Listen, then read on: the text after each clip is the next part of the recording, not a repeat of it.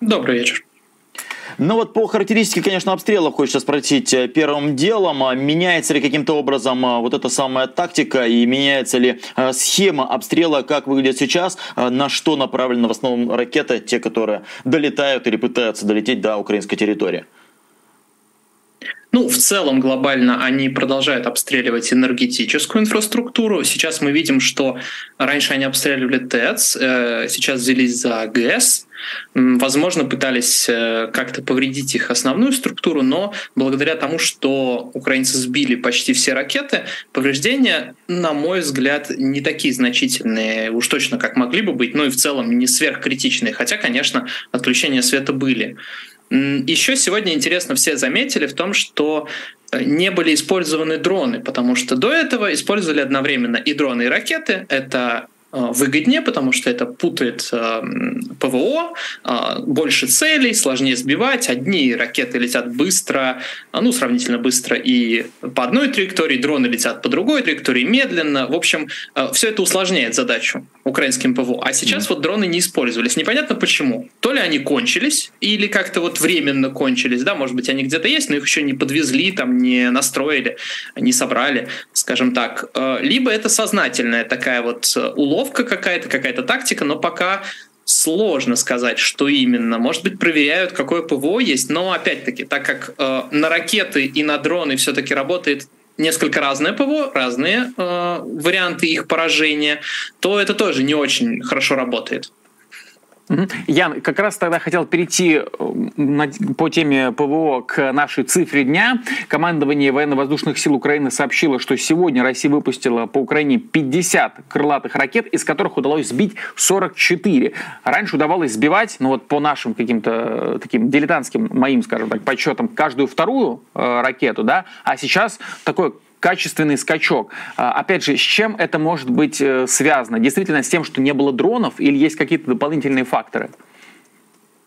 Ну, как минимум с тем, что совсем недавно было поставлено несколько новых систем ПВО, э, западных, в том числе немецкий ИРИС-Т, и э, ими обещали прикрыть Киев, и, судя по всему, прикрыли, потому что как раз вот эти вот кадры э, сбития ракеты, мы знаем уже, да, что Ирис-Т работает в Киеве, уже показывали фото с обломками этих ракет, использованных зенитных. Э, соответственно, видимо, смогли э, более плотно прикрыть. Ну и плюс действительно то, что не было дронов, э, это, возможно, чуть-чуть помогло э, ПВО, то есть слегка упростило, так скажем, задачу.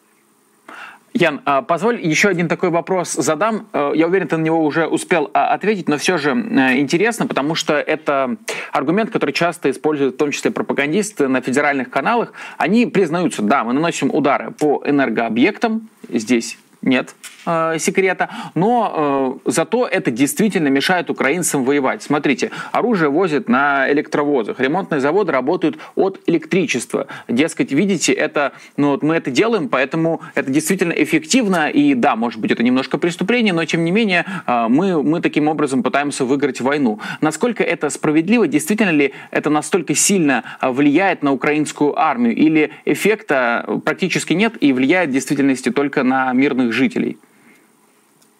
Ну, на самом деле еще после Второй мировой войны, когда а, союзники массированно бомбили а, немецкие города, этот вопрос обсуждался, и в целом был сделан вывод, что подобные бомбардировки, обстрелы именно гражданских объектов, они не особенно эффективны, потому что военная инфраструктура, она быстро восстанавливается, хорошо защищена, рассредоточена, спрятана, и в основном все-таки страдает именно мирное население, а прямо на войну это не влияет, потому что все это имеет накапливающийся эффект, но война слишком скоротечна, чтобы э, это все повлияло. Соответственно, сейчас если возвращаться вот к конкретной ситуации, сложно сказать, как именно отключение света, там, перебои на железной дороге могут прямо помешать ВСУ, потому что да, безусловно, есть э, проблема переброски каких-то подкреплений, припасов и так далее. Но э, в Украине очень плотная транспортная сеть, и когда случаются какие-то проблемы, можно и по дороге отвезти, и, соответственно, какие-то автономные, автономный железнодорожный транспорт использовать без электросети. В этом нет никаких проблем.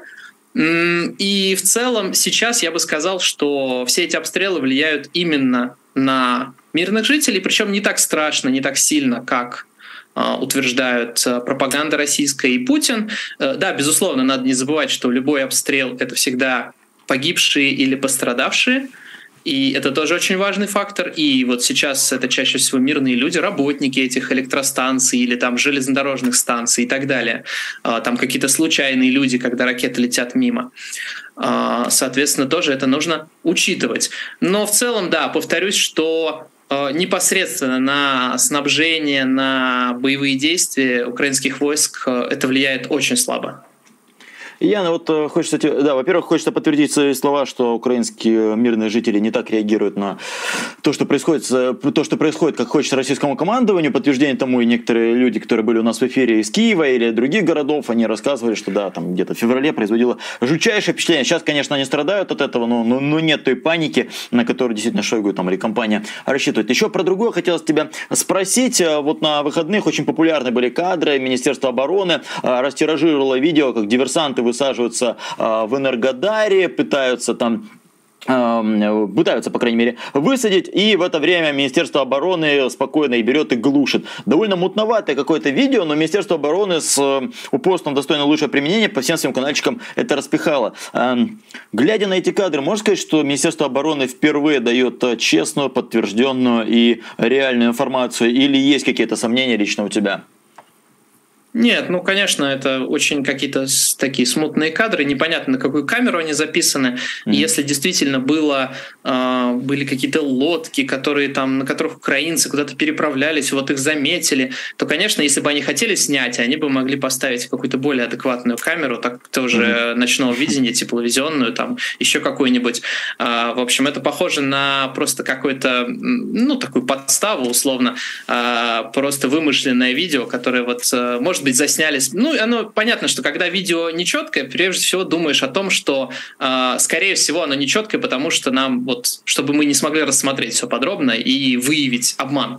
Э, ну и в целом э, вот эти вот захваты Энергодара, о котором российские власти говорят уже несколько месяцев, якобы, да, украинцы уже несколько попыток предприняли э, захватить Энергодар, правда, нормальных свидетельств мы не увидели, да, мы видели, как российские вертолеты обстреливают э, остатки куски моста, который гитлеровцы пытались построить через Днепр, а, в общем, выдавая это за какие-то баржи а, украинские это в целом вся вот эта вот м, ситуация, она выглядит довольно странно, потому что, ну, непонятно, даже если украинцы бы пытались захватить Энергодар там, или атомную электростанцию, зачем им это делать? И э, понятно, что удержать этот район вот в таком месте, ну, просто нереально.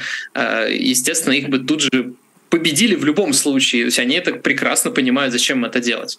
Ну вот э, это очередная такая вот попытка рассказать, что украинцы хотят там что-то сделать с атомной электростанцией, как-то там ее взорвать или испортить. В общем, очередная такая байка, э, страшилка от э, российского Минобороны. Да и только. Мне кажется, скорее всего, это все идет именно на внутренний рынок для людей, которые может быть, плохо потребляют информацию, недостаточно о войне знают и в целом не понимают военные действия. Ну, это естественно, гражданские люди не должны понимать э, войну. И вот им такое показывают с федерального телеканала, они такие, да, да, да, вот украинцы пытались, да, да, да. И вот э, это вот только для этого все сделано. Ян, ну и продолжая тему, скажем так, баек от Минобороны, в субботу беспилотники атаковали корабли Черноморского флота в Севастополе. В Минобороны довольно быстро сказали, что незначительное повреждение получил только морской тральщик Иван Голубец, но аналитики говорят, что повреждения куда более значительные. Вот скажи, какие данные есть у тебя, что известно сейчас? Сожалению, какими-то прям эксклюзивными данными я не располагаю, но если смотреть на те кадры, которые, например, сами украинцы выложили, где эти а, морские, прежде всего, беспилотники э, катаются по рейду Севастопольской бухты. Один из них вроде как в конце взрывается об борт как раз одного из кораблей, вероятно, фрегатов Черноморского флота. Кажется, что действительно они могли повредить какой-то крупный корабль. Единственное, что сомневаюсь, что это было повреждение настолько прямо серьезное, ну, как у крейсера «Москва», да, например. Э, иначе был бы очень мощный взрыв, э, там, если бы сдетонировал боезапас или там корабль бы совсем сильно загорелся.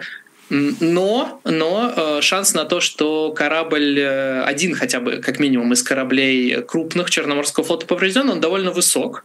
И это подтверждается в том числе тем, как быстро и в такой небольшой панике местные власти прямо сказали, что вот все камеры, значит, заблокируют, все нельзя нигде снимать и так далее.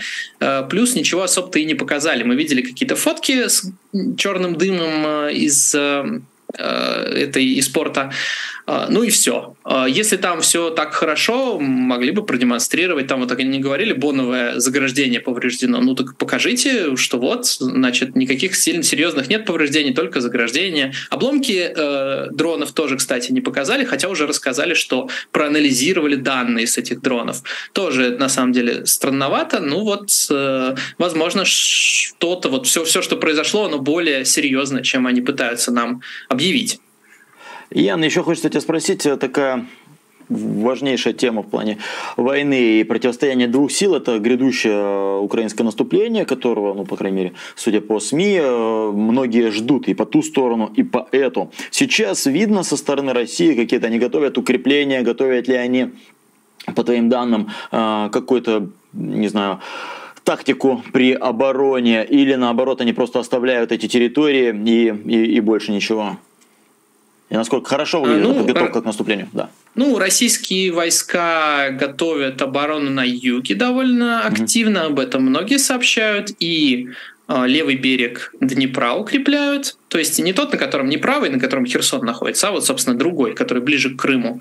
И что довольно забавно, писали о ну и видео есть даже, где э, грузовик вроде как везет бетонные доты, такие, ну, подготовленные бетонные клетки, так скажем, которые потом закапывают землю, э, в сторону Кенбургской косы. Это такая небольшой узкий э, участок земли, который выдается как раз в сторону Николаева. Он совершенно не важен, в принципе, mm-hmm. то есть только если там украинцы, может быть, захотят десант на нем высадить, что тоже выглядит довольно странно, но вот, э, возможно, там пытаются что-то укрепить. Не знаю, насколько это серьезно серьезно, я очень сильно сомневаюсь, что за эту кенбургскую косу будет какие, будут какие-то бои. Но вот, тем не менее. А, плюс, ну, остается вот эта вот линия Вагнера. Кстати, что-то не видно. Как-то видео или фото оттуда больше. Как-то вот попиарились и перестали. Обещали 200 тысяч, 200 километров, простите, ну, может и 200 тысяч. А, но э, вот показали разок и все. Видимо, уже закончилось все. А, ну и, естественно, они переходят к обороне э, на северном северном участке, но там пока непонятно, что по укреплениям. Э, я думаю, что сейчас они э, пытаются выстроить какие-то укрепления вокруг Сватова, используя в том числе мобилизованных, но прям подробной информации нет оттуда. Взрывают мосты кое-где на пути возможного наступления украинцев мосты, насколько я помню, это было через реку Красная, да, насколько там а, писали да, да. в последние дни. И еще, Ян, напоследок хочется короткий вопрос тебе задать. Ты тоже видел, сегодня два вертолета К-52 в Пскове взорвались. Военного эксперта а, мы бы не стали спрашивать, но тебя, как военного аналитика, а, хочется спросить, да, взорвались, повреждены взрывом два вертолета К-52, Твое предположение, что это могло быть? Кто-то кто где-то не, не так покурил или что? Вот у нас уже целая карта вот этих э, неправильно покуривших э, людей по, по всей стране. Ох, ну, честно говоря, сложно сказать. Вот информации mm-hmm. довольно мало, пока вот э, только такие вот в телеграм-каналах что-то пишут.